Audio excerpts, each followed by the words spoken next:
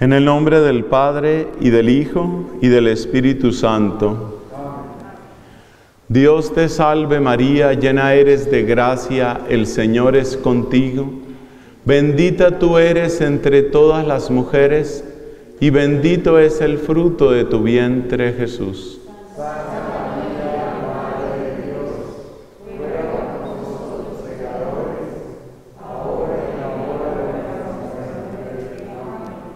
En el nombre del Padre y del Hijo y del Espíritu Santo. Amén.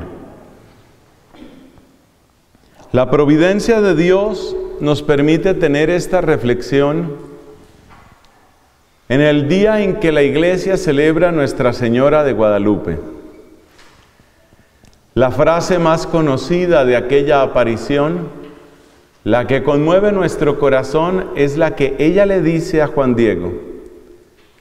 ¿No estoy yo aquí que soy tu madre? ¿Por qué le dice María esa frase a Juan Diego? Porque Juan Diego tiene temor, porque hay miedo en él. Vamos a recordar un poco de la historia de Guadalupe. Después vamos a ver algunos pasajes de la Biblia y a través de todo esto, mis hermanos, vamos a descubrir el título final de esta charla. Y ese título es El método, no lo hemos cambiado, el método de la Virgen María para vencer el miedo. Ese es el título final de esta charla. El método de la Virgen María, el método de María para vencer el miedo. Ese es nuestro propósito. Entonces, recordemos un poco cuál era la situación de Juan Diego. Juan Diego es un indígena. Es un hombre que en el momento de las apariciones tenía un poco menos o alrededor de 50 años de edad. No era un niño, no era un muchacho. Era un hombre de cerca de unos 50 años, un hombre viudo que tenía un tío, el cual estaba bastante enfermo. Y Juan Diego era un hombre que tenía amor a la fe cristiana y tenía capacidad de servicio. Dos cualidades que brillan en él antes de las apariciones. Está el tema del amor a Dios y a su doctrina y está el tema de el servicio al prójimo. Amor a Dios y al prójimo. Pero bien, entonces, ¿cuáles son los temores? Es un indígena. Por poco que conozcamos del mundo indígena en México, en el antiguo México, sabemos que la crueldad, las invasiones, la muerte, la guerra, estaban continuamente en el pasado de estos pueblos. A veces tratan de vendernos la idea de indígenas pacíficos inocentes y amorosos. Pues mis hermanos, no es la realidad. Particularmente en México, había toda una historia de sangre y de hecho, la manera de aplacar a los dioses era a través de sacrificios humanos. Es decir, que la religión era un tema de miedo. La religión era un tema de angustia y de miedo. Además, Juan Diego es un hombre que tiene un temor particular por la salud de su tío. Así que Juan Diego tiene un pasado, un pasado cultural de violencia y de crueldad. Tiene una preocupación inmediata, que es su tío, y cuando empiezan las apariciones, él tiene otra preocupación, a mí nadie me va a creer. Esos miedos y seguramente otros que no conocemos, esos miedos son los que habitan en el corazón de Juan Diego. Y por eso María Santísima le dice, no estoy yo aquí que soy tu madre. Con esa expresión lo invita a salir del miedo y a tomar su verdadera vocación. Y su vocación es la de ser mensajero de una gracia maravillosa de Dios para la nación mexicana y para el mundo entero. Entonces, destaquemos aquí tres puntos para los apuntes que ustedes están tomando. El primer punto es que en Juan Diego, como en muchas de nuestras vidas, vivían y palpitaban miedos. Segundo punto, que Juan Diego recibe de María aquella frase, no estoy yo aquí que soy tu madre. Y tercer punto, que Juan Diego, liberado del miedo, solo liberado del miedo, encuentra su verdadera vocación. El futuro se construye después del miedo, es lo que quiero destacar. El miedo es una barrera que te impide ver el futuro que Dios quiere para ti. De modo que la, la desaparición, la victoria sobre el miedo, es como abrir una brecha que te permite por fin mirar el futuro que Dios quiere para ti. Y es aquí donde recordamos la frase que el ángel le dijo a María, no tengas miedo, no temas María, me fobu Mariam, heures gar harin parato No temas María, has encontrado gracia delante de Dios. No temas María.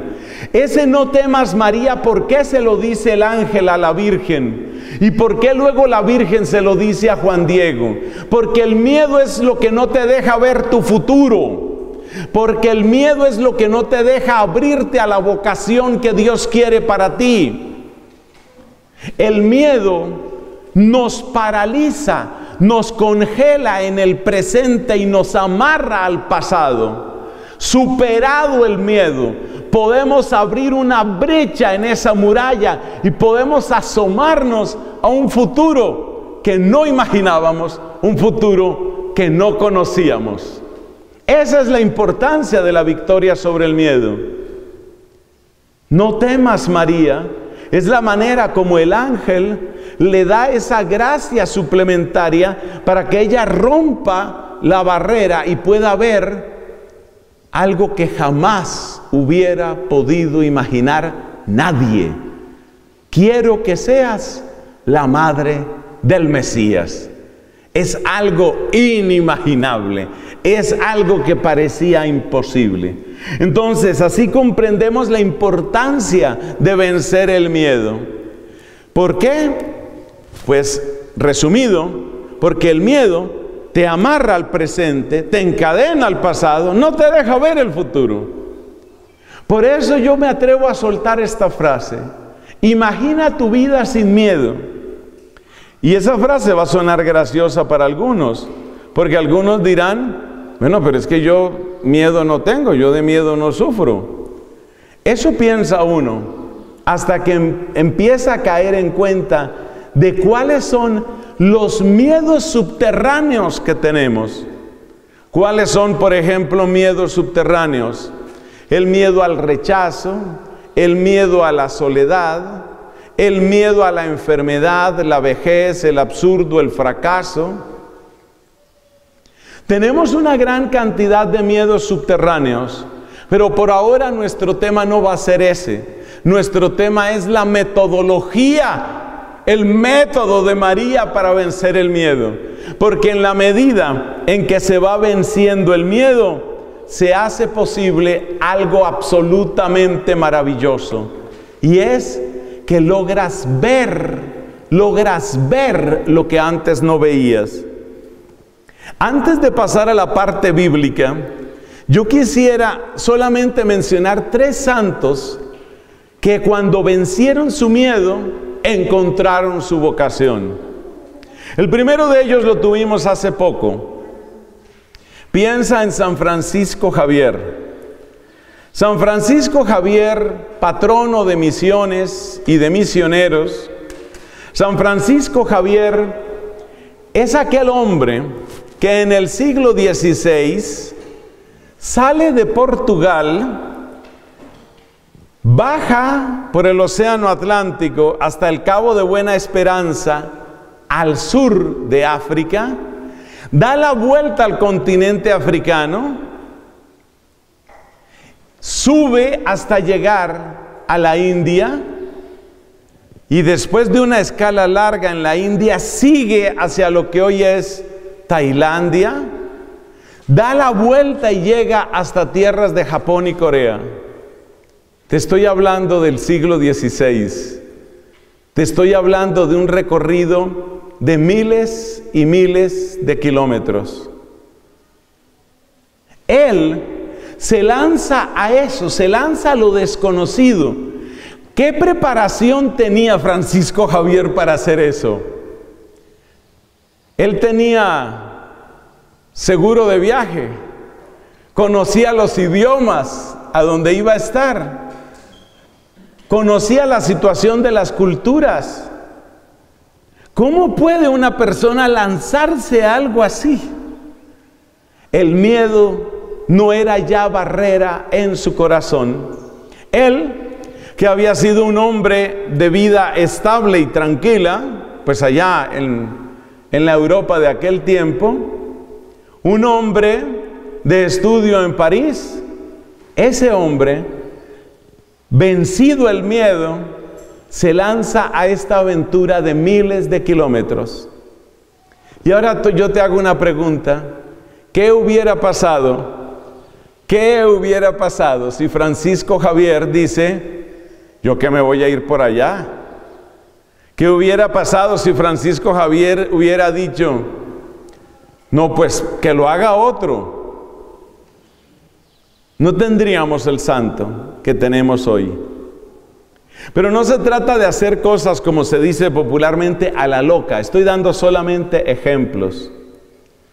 Ya que estamos hablando de misioneros, el gran misionero, sin duda alguna, sin la menor duda, el gran misionero de nuestra fe cristiana es San Pablo.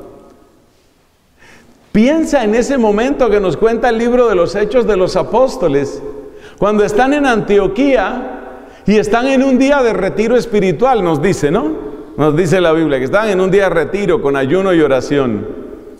Y piensa que en medio de esa oración, uno de esos profetas, un inspirado de Dios, habla de parte de Dios y les dice, separadme a Bernabé y a Pablo para la misión a la que los he encomendado. Y siguen orando y ayunando. Y luego les imponen las manos y los lanzan a la primera misión. Salen de Antioquía, de Siria, llegan a Chipre y empieza la primera de las grandes misiones que hoy conocemos como misiones de Pablo. Él hubiera podido quedarse ahí, hubiera podido quedarse en Antioquía. De hecho, ellos estuvieron, fueron huéspedes en Antioquía por muchos meses, tanto Bernabé como Pablo. Él hubiera podido quedarse ahí, seguir enseñando ahí. Era un hombre que tenía una capacidad pedagógica maravillosa. Pero empieza ese camino misionero, ese hermoso camino misionero. La última persona que quiero recordar, muy amada de todos nosotros, es Madre Teresa de Calcuta. Seguramente ustedes saben que Madre Teresa pertenecía a una comunidad religiosa dedicada a la enseñanza. Por supuesto que ella podía ser santa, se puede ser santo en una comunidad religiosa dedicada a la enseñanza, ni más faltaba. Pero había algo, había un fuego en su corazón, había una inquietud. Eso es lo que te quiero decir, porque tal vez hay fuego también en tu corazón. Y lo que te estoy pidiendo es que no desprecies la lumbre que hay en tu alma. Que no vayas a permitir que el miedo congele, te prohíba lo mejor de tu futuro. Eso es lo que estoy queriendo con estas palabras. Que no te vaya a suceder eso. Lo mejor. Eso mejor. ¿Cómo le llegó a Teresa? Teresa de Calcuta la conocemos nosotros hoy. ¿Cómo le llegó a ella? En una inquietud permanente, en un fuego, en un deseo. Por supuesto que todo hay que discernirlo, repito, no es asunto de obrar a la loca. Todo hay que discernirlo. Pero fíjate lo que ella sentía. Ella sentía unos deseos absurdos, unos deseos ridículos. El deseo de acoger al indigente tirado en la calle. Eso parece imposible, tan imposible como ir a Madagascar saliendo desde Portugal, lo que hizo Francisco Javier. Entonces, ¿cuáles son las llamas que hay en ti? ¿Cuál es esa lumbre? ¿Cuál es esa inquietud? ¿No te ha pasado alguna vez o muchas veces ¿No te ha pasado que tú sientes algo así? Que tú sientes algo que parece en principio loco. Pero eso que parece loco, tal vez es de Dios. Hay que discernir, repito. Hay que discernir. Ahí, ahí puede estar obrando Dios. Todavía no puedo declarar santos, pero quiero contarles la historia de un matrimonio español que yo conocí en la ciudad irlandesa de Drógeda, porque todos los ejemplos que he dado son de religiosos.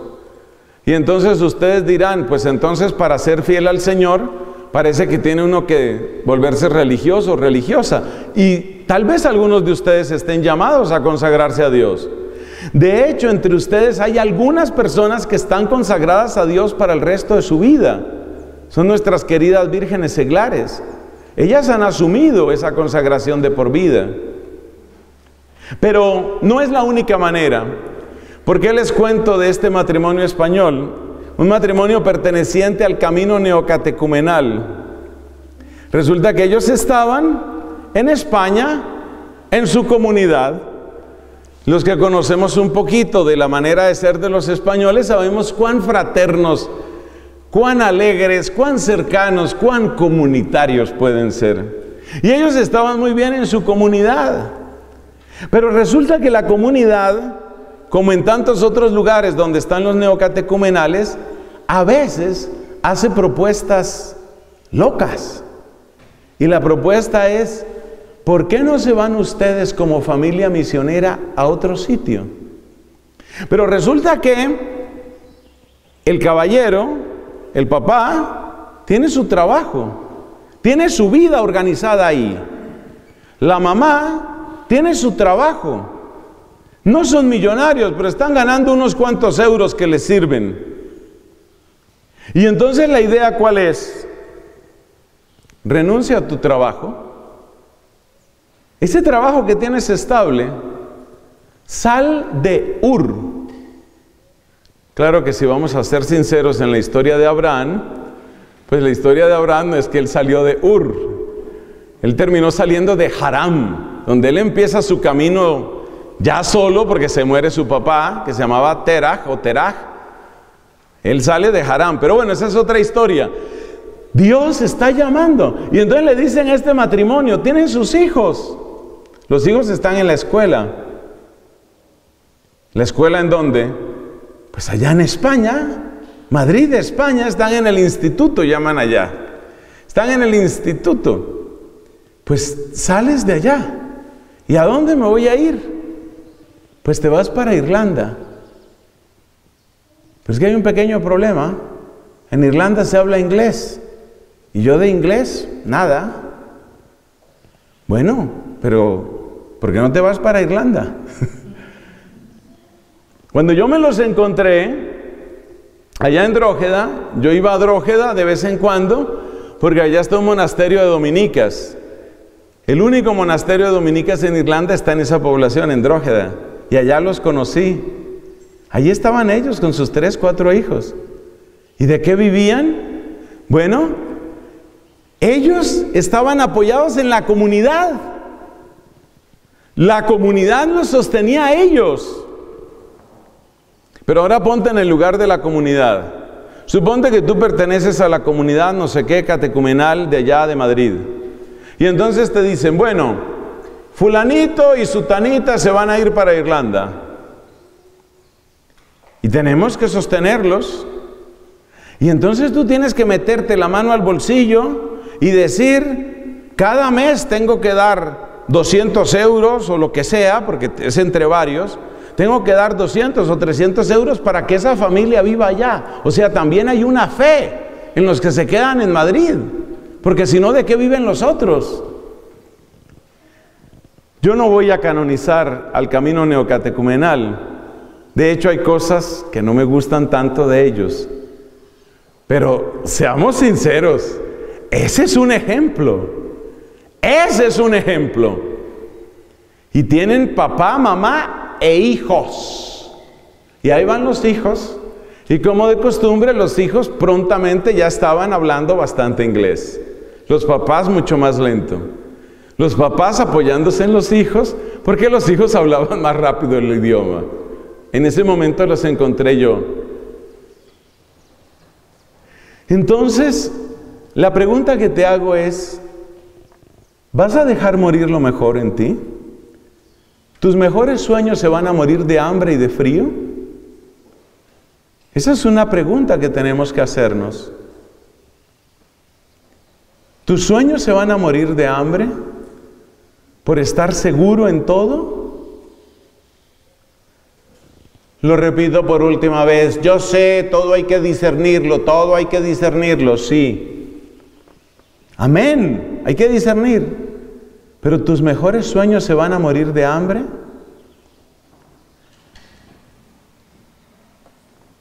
Si llega el momento final de tu vida, ¿qué lamentarás?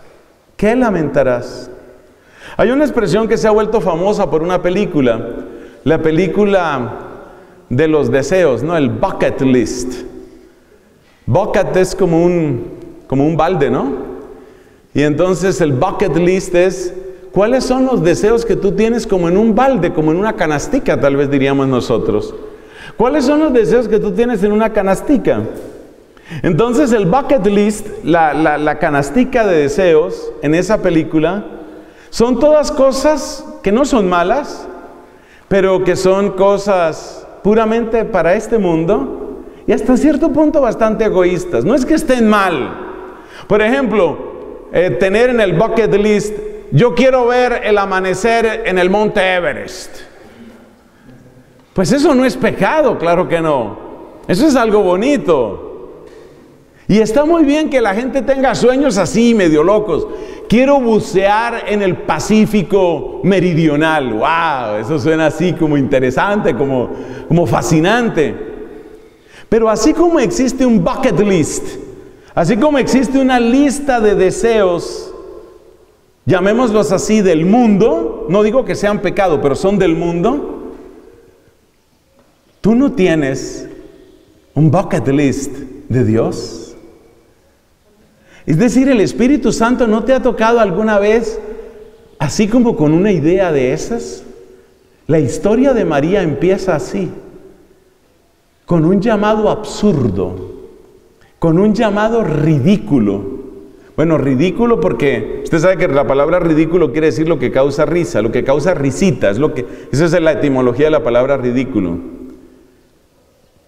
María tiene es una adolescente es una chica y tiene en su corazón una chispa, un anhelo que parece absurdo, un deseo absurdo. Y ese deseo absurdo de ella es, quiero ser para Dios en cuerpo y alma. La parte de ser para Dios en su alma no es rara en el pueblo de Israel. Pero que una chica diga, quiero ser para Dios en mi cuerpo, Eso es lo que significa un voto virginal.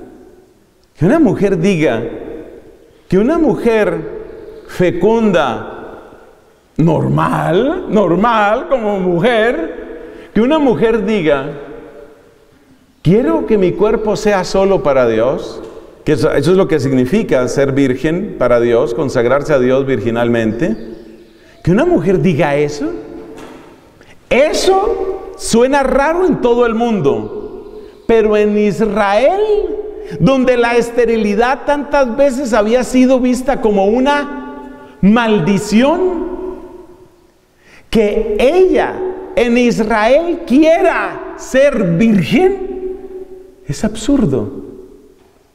Es absurdo. Es imposible. María siente ese deseo. Pero antes de recorrer la vida de María o algunos pasajes de la vida de María, démonos cuenta en dónde está nuestro error con el miedo. Hermanos, nosotros tenemos una idea equivocada. La idea equivocada es esta, para que por favor la escriba por ahí en alguna parte. El miedo desaparecerá cuando llegue el perfecto conocimiento y el perfecto control. El miedo desaparecerá cuando llegue el perfecto conocimiento y el perfecto control. La manera humana de manejar el miedo, ¿cuál es? Pues a través de conocimiento y control. Esa es la manera como nosotros manejamos manejamos el miedo. Y no está malo eso. Por supuesto, si usted, por ejemplo, está en una casa y suena un ruido, pues lo natural es que usted se pregunte, ¿eso qué fue? Eso es buscar conocimiento. Y entonces usted dice, bueno, pues simplemente que la madera está crujiendo. Ah, entonces todo está bajo control. O sea, las dos palabras claves con las que uno maneja el miedo son la palabra conocimiento y la palabra control. Pero entonces, ¿en dónde está lo equivocado? En que uno cree que uno puede llegar a tener perfecto conocimiento y puede llegar a tener perfecto control. Y resulta que el perfecto control uno nunca lo tiene. Uno nunca puede controlar todos, todos los factores y todo lo que va a suceder. Y cuando una persona pone su corazón en la autopista del perfecto conocimiento y el perfecto control, ¿qué crees que va a pasar con esa persona? Se ha metido en una empresa imposible. Es una empresa imposible. Y esa empresa imposible genera lo que en lenguaje popular llamamos una paranoia. No estoy hablando de la definición clínica de paranoia. Pero claramente la persona se vuelve así cuando intenta tener perfecto conocimiento y perfecto control. Quiero controlarlo todo. Uno no puede controlar todo. Pero ¿cuál es la medida exacta de control que debo tener en mi vida? ¿Y cómo puedo manejar la información insuficiente que también tengo en mi vida? Entonces nosotros fracasamos en el manejo del miedo porque creemos que para vencer el miedo hay que tener perfecto, el problema está en la palabra perfecto, perfecto conocimiento, perfecto control. Y uno nunca puede tener perfecto conocimiento y perfecto control. Para entender por qué esta es una idea equivocada es bueno ver algunos ejemplos. Pensemos en el caso de los celos, estoy hablando de los celos patológicos. ¿Cuál es el problema con los celos patológicos? Si usted piensa una celotipia, de esas que son patológicas, consiste en que la persona quiere tener perfecto conocimiento y perfecto control. Por eso la actitud típica de la persona celosa es cuál? Necesito saber a todas horas en dónde estás, con quién estás, qué estás pensando, qué vas a hacer, cuál es tu idea. Es decir, quiero perfecto conocimiento, perfecto conocimiento sobre ti. A todos nos gusta que se interesen por nosotros. Es muy feo cuando uno no le importa nada a nadie. Es horrible. Uno sí quiere que la gente se interese en uno. Claro que lo quiere. Pero el problema está en cuando quieren saber todo de uno y a todas horas. Eso es miedo. Eso se llama miedo. Como quien dice, si hay algo de ti que yo no sé, a través de eso que yo no sé, se está metiendo lo que te va a destruir. Y pues tú eres muy importante para mí. Eso es lo típico de los celos. Hace poco eh, conocí la situación, bueno, eso pasa todos los días, conocí la situación de una parejita de novios, la relación se dañó y la razón por la que se dañó fueron los celos. Porque resulta que en concreto este hombre cada vez quería controlar más y quería tener más información. Fíjate que es un mal manejo del miedo. Entonces, por ejemplo, pues ya te imaginarás cuáles eran las, cuáles eran las estrategias de él. De las estrategias de él, ¿cuáles eran? Necesito que me des todas las contraseñas de tus correos. Necesito que me des todas las contraseñas de tus redes sociales. Y entonces por allá a 4 de la mañana estaba el hombre hurgando a ver qué fue lo que puso en Facebook, qué fue lo que le dijeron en este chat o en este otro. ¿Y en dónde termina eso? En destrucción, en asfixia. Eso se llama mal manejo del miedo.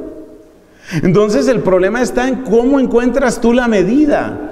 Y un tema es este, el tema de los celos. Los celos son una expresión deformada de miedo. Por eso necesitamos aprender a manejar nuestros miedos. Y por eso María Santísima es una bendición gigantesca en nuestra vida. Sobre todo lo más doloroso, a mí de verdad me, dolió que se dañara ese noviazgo, me dolió. Entre otras cosas porque era una pareja muy bonita, también físicamente. El tipo muy bien parecido, siempre me pareció muy agradable como persona y eso, muy bien parecido. Y ella, una mujer hermosa, dulce, no sé, con tantas cualidades. Era una de esas parejas que uno realmente quisiera que funcionaran. Nada, no se pudo. ¿Qué fue lo que destruyó esa relación? Los celos. ¿Y qué significan los celos? Miedo. Es físico miedo. Y lo más triste es que ese hombre yo creo que realmente amaba a esa mujer, pero creo que a esa mujer la amaba más la mamá de él. Ahí había un tema de suegra también muy importante. Pero esta suegra quería bien a la chica, la quería mucho, porque después de eso me he seguido hablando. Y este hombre, eh, esta mujer, la suegra, quería mucho a la chica. Pero fíjate, hay modos de querer tanto que ahorcan, que asfixian. Se puede llegar a destruir la persona que tú amas por un problema de miedo mal manejado. Destruir a lo que yo amo, destruir a quien yo amo. Es difícil pensar una tragedia peor que esa. Y eso tiene que ver exactamente con el miedo. Otras personas entran con otro tipo de miedos. Hace unos años leí un libro muy interesante que habla sobre, bueno, son distintas reflexiones sobre la salud y lo que hace la gente por tratar de mantenerse saludable. Entonces cada capitulito cuenta historias de qué hace la gente por mantenerse saludable. Uno de esos capítulos está dedicado precisamente a la mamá del autor. Y resulta que esta era una señora que estaba obsesionada con el tema de la radiación electromagnética. Estaba obsesionada con que los celulares nos están produciendo cáncer, el microondas le deja algo a la comida que luego se mete en mi cuerpo y entonces eso me destruye. Las líneas de tensión que pasan cerca de mi casa, eso también está destruyendo mi cerebro. Eso cada vez que paso por ahí me mata unas cuantas neuronas. Por eso me estoy poco a poco embruteciendo. En una señora que estaba obsesionada con el tema de la radiación. Como era una señora que tenía bastante dinero, ya verán lo que hizo. Una de sus casas tenía un patio inmenso. Por lo que yo entendí de la descripción, el patio era como lo que en Colombia llamamos media manzana, como media hectárea. Y ese fue el paraíso para ella. ¿Por qué? Porque en la mitad de ese patio, ella hizo una casa básicamente a base de madera. Casi no tenía nada de metal, porque se sabe que el metal pues transmite radiaciones. Entonces, una casa prácticamente hecha de madera. No tenía conexiones eléctricas, porque se sabe que donde hay electricidad hay magnetismo. No tenía conexiones eléctricas. No tenía metal. Nada que emitiera radiación, incluyendo microondas, incluyendo celulares, nada podía acercarse a menos de 20 metros de esa cabaña que ella se hizo. Y allá dentro de su cabaña ella se sentía segura. Pero uno empieza a preguntarse, ¿dónde termina la seguridad y empieza la prisión? Porque para ella salir de su cabaña segura era algo que le producía miedo. Entonces ella tenía que permanecer en su cabaña segura. Y la peor de las ironías, ¿cuál es? La señora murió de cáncer. Entonces, ahí está el tema. Claro, cualquiera de nosotros puede morir de cáncer, a todos nos pueden pasar muchas cosas. Pero date cuenta cómo el miedo, con el miedo no solo destruimos a las otras personas, sino que también nos destruimos a nosotros mismos. Esa mujer se volvió prisionera, estaba secuestrada por su propio miedo, metida en su cabaña, pues no podía, por supuesto, ni ver televisión, ni utilizar internet, ni comunicarse con nadie. Sí podía hacer muchas cosas bellas y útiles, podía leer, podía tejer, podía escribir, podía hacer muchas cosas. Pero hay que preguntarse qué estaba haciendo el miedo dentro de esa historia. Y luego tenemos el miedo en la evangelización, que es el tercer ejemplo que quiero darles. El miedo en la evangelización. El miedo de decir lo que realmente pienso. El miedo de que me van a rechazar. Familia espiritual, por dar un ejemplo. Familia espiritual se acerca a sus siete años de existencia. En siete años ya hemos recogido bastante experiencia, creo yo. Nos falta mucho, pero hemos recogido. Y en siete años hemos visto detenerse proyectos de evangelización básicamente por miedo. Pero más que los proyectos, yo quiero referirme a lo que les ha sucedido a muchos adultos y jóvenes. Es el temor de presentarse plenamente cristiano. Eso te paraliza también. Y resulta que hay una ley, hay una ley de la evangelización. Y esa ley de la evangelización está en esta frase. O tú acercas el mundo a Cristo o el mundo te aleja de Cristo. Escriba esa frase que le conviene. O tú acercas el mundo a Cristo o el mundo te aleja de Cristo. Eso no tiene, no tiene punto medio. Si tú no estás acercando tus amigos a Cristo, tus amigos te están alejando de Cristo. Es así de sencillo. Yo ya he visto a varios de ustedes, sin que yo sea ni perfecto, ni modelo, ni más faltaba, pero ese no es el tema. Yo ya he visto a varios de ustedes hacer el experimento de las dobles y las triples vidas. Eso ya lo hemos visto aquí en familia espiritual. Eso de que yo en familia espiritual, si me invitan a una caminata mariana y vamos a rezar rosario de las semanas, ahí estoy juicioso y piadoso. Si hacemos una vigilia, ahí estoy juicioso y piadoso. Pero luego en redes sociales, entonces, ahí sale la otra, o ahí sale el otro. Ahí sale el otro. O sea, no has logrado unificarte, no has logrado.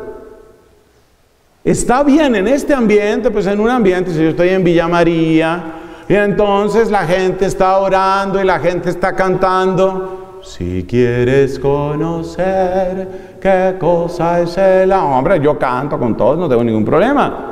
Pero en el momento en el que estoy fuera de mi acuario, en el momento en el que estoy por fuera, en ese momento, sea con mis amigos, sea en mis reuniones, sea en mis redes sociales, ahí sale el otro. Y ese otro que sale es el otro que le paga tributo al mundo o que le paga tributo a la carne, o uno no desearía decir esta frase, le paga tributo al diablo. Ahí sale el otro. Entonces en tus redes sociales sale el otro. No has logrado unificar y es muy grave eso porque ya hemos visto a varios hacer esos experimentos. Y en esos experimentos siempre sucede lo que le pasó a aquel joven cuando Pablo estaba predicando. El libro de los Hechos de los Apóstoles nos cuenta que en alguna ocasión Pablo estaba predicando. Y Pablo, que creo que es un fenómeno un poco extraño, predicaba largo. Es un fenómeno extraño que él tenía. Las predicaciones de San Pablo eran largas. Además tenía otra costumbre y es que él, cuando se ponía a predicar, se le espantaba el sueño. Entonces Pablo se puso a predicar y estaba de noche y había un joven, eso está en el libro de los Hechos de los Apóstoles, tarea, encuentre la cita. En el libro de los Hechos de los Apóstoles se nos cuenta que había un joven que estaba por allá, ellos estaban en un piso alto y el joven estaba sentado en el borde de la ventana. Siempre me llamó la atención esa imagen. Estaba en el borde, con una, con una partecita, oigo a Pablo, con otra partecita, pues oigo la música de las tabernas y mis amigos que están pasándola bueno. Entonces este joven, ya esa parte la agrego yo, claro está. Entonces este joven estaba entre la taberna y San Pablo. Pero ¿qué pasa? Que este es un movimiento que las mamás han utilizado desde todos los siglos para generar sueño.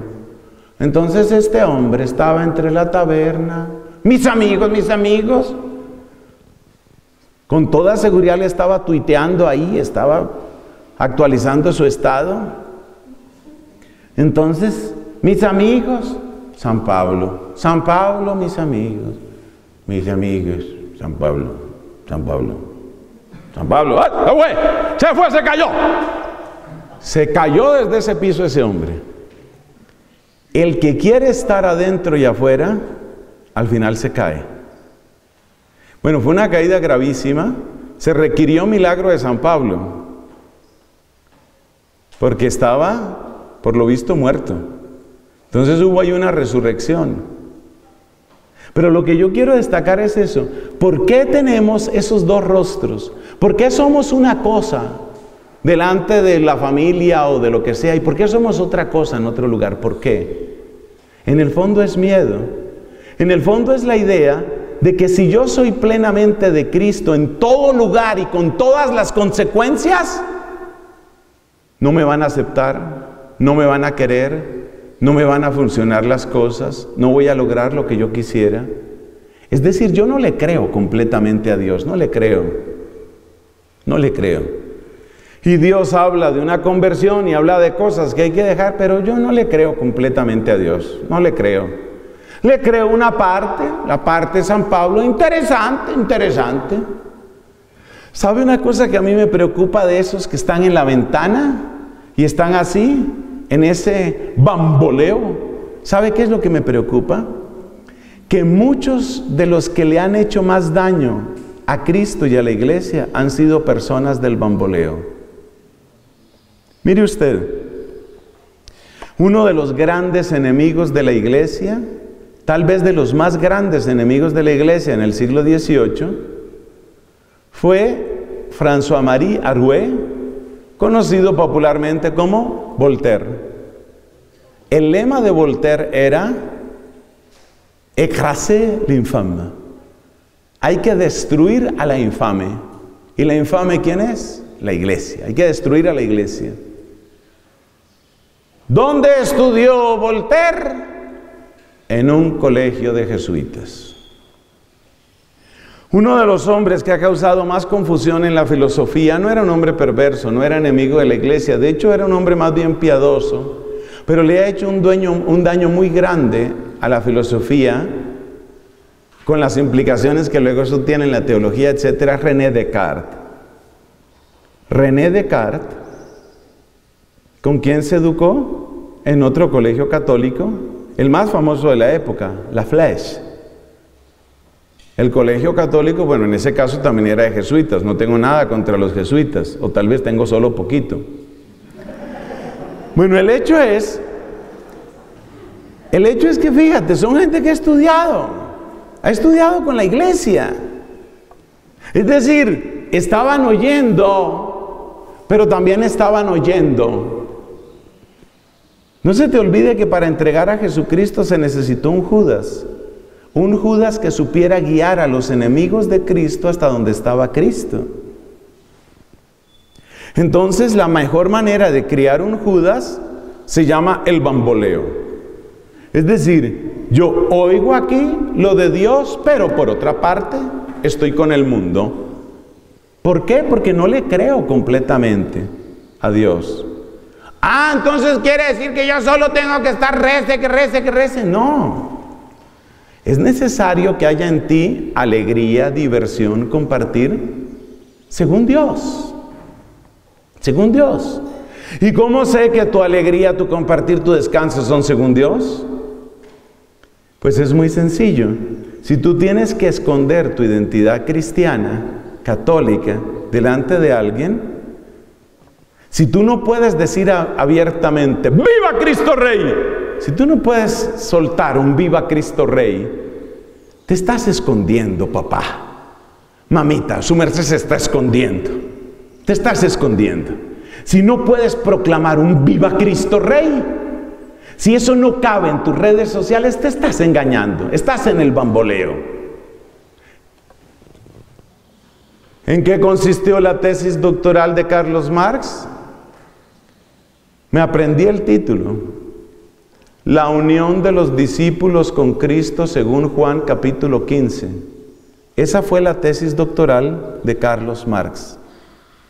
Nombre de Carlos de la actitud de Carlos Marx se llama el bamboleo. Entonces, por una parte conozco Biblia, conozco Biblia, conozco Biblia, pero por otra parte mi corazón está en otras cosas. Esos son los enemigos que Cristo no necesita. Gente que lo conozca mucho y que lo ame poco. Entonces, por favor, para sus apuntes esta frase. Los peores enemigos de Cristo son los que lo conocen mucho y lo aman poco. Esos son los peores enemigos de Cristo. ¿Y cómo se llega a ser enemigo de Cristo? ¿Cómo llega uno a esa tristeza de conocerlo mucho y amarlo poco? ¿Cómo se llega? Se llega con el ejercicio triste del bamboleo. Aquí estoy oyendo, pero me voy de para acá. Y te repito, yo no te estoy mandando a una vida de mojigatería.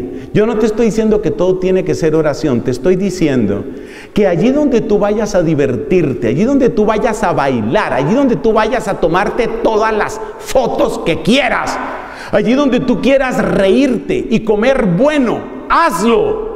Pero que no tengas que esconder quién eres. Que en esos lugares tú puedas lograr corazones para Jesús. Eso es, de eso es lo que se trata. Yo creo que es una de las enseñanzas que nos dejan santos jóvenes, como el beato Pier Giorgio Frassati, italiano, y como el también italiano recientemente beatificado, Carlo Acutis. Lo que nos muestran estos santos es eso. Alegres, alegres, deportistas, con amigos, capaces de risa, capaces de gozo, capaces de amor, pero no se esconden no están bamboleándose, no están entre una cosa y otra, son lo que son. Yo les admiro, les admiro, porque una persona de esas primero tiene que pasar por una tempestad la macha, pero después de la tempestad, esas son las personas que todo el mundo busca para verdaderos líderes, porque no hay nada que forje tanto el temperamento, no hay nada que forje tanto tu carácter como ser el mismo en todas partes. Esos son los líderes que el mundo necesita. Entonces fíjate el error tan grande que estamos cometiendo. Cerremos esta parte y terminamos con la reflexión bíblica sobre María. Fíjate el error que estamos cometiendo. El error que cometemos es creer que para que desaparezca el miedo hay que tener el perfecto, ojo con la palabra, perfecto conocimiento y perfecto control. Ese es el error. Eso nunca lo vas a tener. Si te metes por ahí, llegas a la paranoia. Paranoia en sentido popular. Y si llegas a la paranoia en sentido popular, Terminas destruyendo a los que amas, como la persona celosa, destruyéndote a ti mismo, como la señora que resultó prisionera en su propio jardín, o resultas negando a Cristo, como tantos que están llevando doble vida.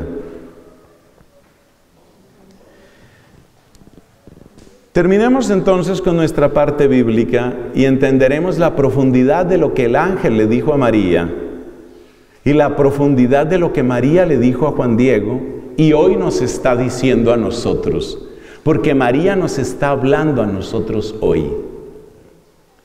María tenía su idea, una idea absurda. Quiero ser de Dios con todo mi cuerpo y con toda mi alma. Eso se llama ser virgen para siempre. Eso es lo que ella quería. Pero llegó una buena noticia, una buena solución. Un hombre que entendía eso. María no estaría desposada con José si no hubiera claridad sobre ese punto. María no se iba a someter ni a engañar a José, que tendría que esperar otro tipo de matrimonio, ni tampoco vivir en una presión constante. O sea que José fue el regalazo que Dios le dio a María. O sea, José era un hombre realmente único. Y entonces el plan, me estoy basando en San Agustín, yo sé que hay autores que no comparten lo que en este momento estoy diciendo, pero la convicción que yo tengo junto con San Agustín y la mayor parte de los padres de la iglesia es que había acuerdo entre ellos con respecto a esto de la virginidad. Había acuerdo entre ellos. Si no, no se entiende, lo que digo ahora es de San Agustín, no se entiende la pregunta que ella le hace al ángel si ella no tuviera un proceso virginal. Porque María le dice, ¿cómo voy a ser mamá si no tengo relaciones con un hombre? Pero estaba desposada con José. Como el ángel le dijo, serás mamá, serás madre, eso no tenía ningún problema, pues claro que voy a ser mamá. Si ella tuviera en sus planes que hubiera relaciones normales, naturales, entre hombre y mujer, si ella tuviera eso en sus planes, la pregunta de ella no tenía nada que ver. Entonces los que niegan la interpretación de San Agustín, que es la que yo creo fervorosamente, junto con la mayor parte de los padres de la iglesia, los que niegan la interpretación de San Agustín, entre los cuales dolorosamente hay personas que amo mucho en la teología, como por ejemplo el Papa Benedicto, se me parte el alma de tener que decir ese nombre aquí, los que niegan la interpretación de San Agustín básicamente lo que dicen es que esa frase de María es un recurso literario para que aparezca una explicación. En el momento en el que tú dices que una frase es un recurso literario, después me explicas cuántos recursos literarios hay en el resto de la Biblia.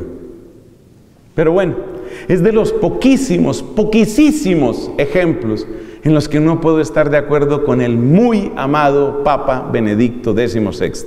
Uno de los poquísimos casos. Entonces yo me quedo con San Agustín en esto. Y San Agustín sigue la interpretación natural. Y la interpretación natural es que si María hace esta pregunta es porque en ella hay un propósito de virginidad. Hay muchos otros que tienen esa misma idea, como San Ambrosio y otros. Este semestre precisamente que di Mariología en la universidad, eh, tengo una charla específicamente sobre ese tema. Pero bueno, ¿a qué vamos con esto? a que María tiene su plan y ha encontrado el regalo de Dios en un hombre que entiende ese plan. Y ese hombre se llama José. Es una bendición, una bendición muy grande. Viene un cambio de planes. ¿Cuál es el cambio de planes? Un día, un ángel se presenta ante ella y la saluda. Partamos de la base de que la plenitud, la plenitud de santidad que brilla en un ángel, abruma nuestro entendimiento. Un ángel puede paralizar tu inteligencia. ¿Por qué la paraliza? Porque es como si vieras tanta, tanta verdad y tanta belleza junta que no puedes pensar. No puedes pensar. El ser humano no soporta el esplendor de un ángel de Dios. No lo soporta. Es demasiado. Es demasiado. Bueno, entonces este ángel se aparece y la saluda además con esas palabras que conocemos. Haire que jaritomene, jocurios metasu. Te saludo María, muy amada, muy favorecida, agraciada, el Señor está contigo. María, siendo quien era, criatura humana, queda abrumada por eso que le dice el ángel. Se pregunta, ¿esto qué es? El ángel continúa, Mefobu Mariam, no temas María. Acuérdate que ya aprendimos qué significa no temas. No temas significa no te cierres al futuro que Dios quiere para ti. No te cierres al futuro que Dios quiere para ti. No temas. Si nos damos cuenta, y aquí va apareciendo la metodología, el método de María, si nos damos cuenta, María está entre la incertidumbre y la confianza. Hay una incertidumbre. ¿Esto qué es? ¿Esto qué significa? ¿Qué es esto? Es incertidumbre. ¿Qué va a pasar conmigo ahora? Por eso pregunta, ¿cómo será esto? ¿Cómo será esto? Dios la saca de su zona de confort. Aunque creo que es un uso un poco infantil de esa expresión. Dios la saca de su zona de confort. El mundo estaba organizado para María. ¿Cómo era el mundo de María? El Espíritu Santo ha puesto en mí el ser de Dios en cuerpo y alma. Y he encontrado un hombre que entiende esto. Ya está organizada mi vida. Vamos a llevar un matrimonio santo. Ya está. Pero llega Dios y desorganiza. Llega Dios y cambia el libreto. Llega Dios y te pone en otro pentagrama. Y en ese otro pentagrama, ¿qué voy a hacer yo? Eso se llama incertidumbre. Pero María sabe que ninguna incertidumbre es absoluta porque debajo de toda incertidumbre hay alguien que no cambia, que se llama Dios, y hay algo que no cambia y que se llama su amor. El método de María es vencer la incertidumbre con la confianza. Y el método de María es construir la confianza como las santas mujeres. Vamos a explicar eso con la ayuda de Dios. Entonces, el método de María empieza con vencer la incertidumbre con la confianza. Pero la confianza hay que construirla. ¿Cómo se construye la confianza en Dios? Con el recuerdo de sus maravillas y con una relación viva con Él. Entonces, el recuerdo de sus maravillas aparece, por ejemplo, en Judith, aparece, por ejemplo, en Esther y en otras santas mujeres, sin duda alguna. Pero libros de la Biblia que lleven nombre de mujer, en esos dos aparece. Entonces, ¿cuál es el método de María con respecto al miedo? ¿Cómo nos enseña María a vencer el miedo? Vencer el miedo no significa caer en la imprudencia, no. Vencer el miedo significa poner en su lugar los riesgos, poner en su sitio los peligros, no más grandes, no más chiquitos. ¿Cómo me enseña María a poner en su lugar los miedos? A través, venciendo la incertidumbre con la confianza. ¿Y cómo se logra la confianza? Con el recuerdo de las maravillas de Dios y con una relación viva con Él. Ambas cosas estaban plenamente en María. María tenía el recuerdo de los prodigios de Dios y María tenía la relación más viva y más perfecta que persona alguna pudiera tener con Dios. Así se construye la confianza. Entonces, ¿este método funciona? Pues claro que funciona, y lo ves en ella. Mira cuántas veces Dios le cambió el libreto.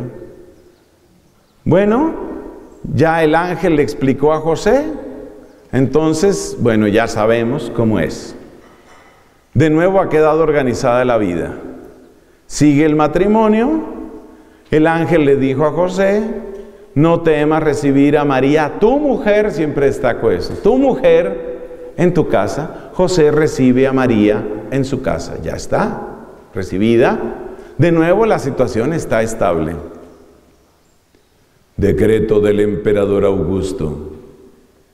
Censo. ¿Se imaginan ustedes esa conversación entre José y María? Tenemos que salir, tenemos que ir a Belén.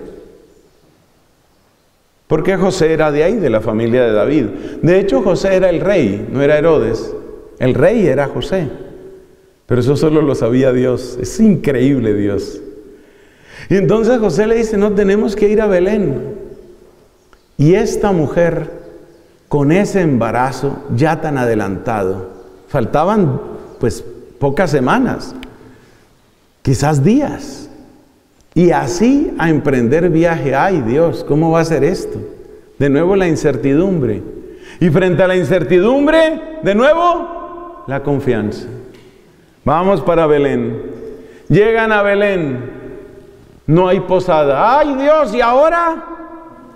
Bueno, dice el Papa Francisco en su bellísima carta, que es la que más me gusta de él. Patris Corde se llama la encíclica, la encíclica no, la carta apostólica del Papa Francisco sobre San José. Dice, José brilla también por la creatividad. José es el hombre que encuentra un camino, encuentra una solución. Esa reflexión yo nunca la había oído, se la debemos a este Papa Francisco. Bueno, listo, entonces arreglado lo del nacimiento. Prueba superada. Pero es que era prueba tras prueba. Herodes va a buscar al niño para matarlo. Y ahora, arreglar en una noche. Arreglar mudanza en una noche. ¿Para irse a dónde? ¿Tenemos reservas en ese hotel? ¿Para irse a dónde? Incertidumbre vencida por la confianza. Y llegan allá a Egipto. ¿Y aquí de qué vamos a vivir? José responderá, pues yo sé trabajar, a buscar trabajo donde no me conocen. Ese es José, esa es María. Vuelven a Nazaret. Y ahí viene otra clase de incertidumbre. Yo creo que María de vez en cuando, como hacen todas las mamás, todas las mamás espían a los hijos. Eso es así, todas las mamás. Mamá que se respete espía a los hijos. Está ahí mirando. De soslayo. De soslayo está mirando allá. Entonces yo creo que María se queda así mirando a José. A José bueno, a José lo miraba, pero ahora hablamos es de Jesús. Se quedaba mirando a Jesús a ver si de pronto hacía como un milagro, alguna cosa. Quizás Jesús iba a agrandar el postre. Entonces, entonces María se queda así mirándolo así de lejos, a ver. Cero milagros, cero. Bueno, lo de los 12 años en el templo, ese fue otro susto. Pero después de eso, José, un muchacho sano. Como dicen las mamás siempre de los hijos, ¿no? Mi, hijo muy sano, sano. Luego uno conoce al muchacho y uno dice, no sé qué le ve de sano, pero bueno. No, mi hijo muy sano. Oiga, 13 años, 14 años, 18 años, ya Jesús con cédula. Y lo que me dijo el ángel, ¿Ah? Su merced, Yeshua, ¿sí se siente como, como bien? ¿Ah? 22 años, 28 años, no se le conoce novia. A ver cómo es este Mesías, esto aquí cómo es al fin. Esa también es otra incertidumbre. De Juan el Bautista se dice que la gente exclamaba, ¿qué será de este niño? ¿Cuántas veces se lo preguntaría María a veces con sonrisa, a veces con lágrimas. ¿Qué va a pasar con mi niño? Y luego se muere José, no sabemos a qué edad de Cristo se muere José. Otra incertidumbre. Y luego empieza la predicación de Juan Bautista y luego una escena que me ha hecho llorar varias veces. El día en que Jesús sale de casa. Y ambos sabían lo que eso significaba. ¿Cómo fue esa despedida? ¿Cómo fue ese abrazo? Pero es que no hay manera de amar sin soltar. No hay manera. El que ama y no suelta asfixia. No hay manera. Tener que soltar a ese hijo. Se queda María mirándolo mientras él va camino de la ribera del Jordán. Ya nunca más se quedará en la casa de ella. Y luego la cruz. Y luego la cruz. Esa es María. ¿Aquí qué? ¿En dónde quedó todo? ¿Dónde quedó todo? Y mientras tanto, el demonio bramándole al oído, te engañaron, te engañaron, te engañaron. Y ella firme, y ella de pie junto a la cruz. Es impresionante María Santísima, es impresionante. Y todo lo vence por una absoluta confianza en Dios. ¿Y la confianza de qué se alimenta? De escuchar las maravillas de Dios, de recordar las maravillas de Dios. De eso se alimenta. ¿Y de qué más? Tener una relación viva con Él. Ese es el método de María. Y luego Pentecostés, y se acaba la familia. Ya se van los apóstoles. Andrés, por allá, a las islas de Grecia. Ya se van. Tomás, camino de la India. Bartolomé, algunos dicen, por la región de Irak. Y ella, junto al discípulo amado, en Éfeso. La vida de ella estuvo marcada por la incertidumbre. Ella no tenía clara otra cosa, sino que Dios es Dios. Esa es la última frase que te voy a pedir que escribas. Ella no tenía clara otra cosa. María no tenía clara otra cosa, sino que Dios es Dios. Es lo único que ella tenía claro. Dios le cambió tantas veces el libreto. Le cambió tantas veces, tantas veces que finalmente ella no tenía otro camino sino vivir en Dios y para Dios. María, educada, educada en este camino, sabe lo que es confiar en Dios. Y por eso quiero terminar con la guadalupana. Cuando Juan Diego le dice todo preocupado, pero es que mi tío, es que mi tío es que está enfermito. María que había vivido tantas cosas, ve la angustia de Juan Diego por la enfermedad del tío. Eso que te preocupa es tan pequeño, le dice ella. ¿Por qué ella le dice eso? Porque ella ha conocido preocupaciones grandes. Qué hermoso que María nos repita eso. Qué hermoso que María lo pueda decir y que lo escuchen todos, pero sobre todo nuestros niños y jóvenes. Eso que te preocupa es tan pequeño. Así le habla María a Juan Diego. No te preocupes por eso. Y luego para darle ánimo le añade, es que yo voy a estar contigo. Yo no te voy a dejar. Yo soy tu mamá, yo no te voy a dejar. Yo te voy, lo que te preocupa es pequeño, así le empieza a quitar el miedo. Y luego le dice, yo voy a estar contigo para terminar de quitarle el miedo. Que María Santísima deje sentir su presencia en nuestras vidas, para que no tengamos que vivir en el bamboleo, para que no tengamos que vivir con doble vida, para que no tengamos que esconder la mirada, para que no tengamos que decirnos mentiras o decirlas a otros. Qué importante, qué bello Qué grande que ella esté con nosotros. Gloria al Padre, al Hijo y al Espíritu Santo